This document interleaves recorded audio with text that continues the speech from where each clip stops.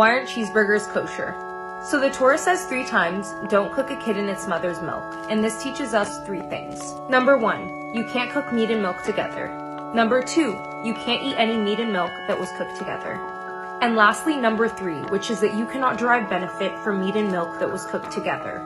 And remember guys, this prohibition is specifically referring to kosher milk and kosher meat which was cooked together. Additionally, milk and non-kosher meat are only prohibited rabbinically.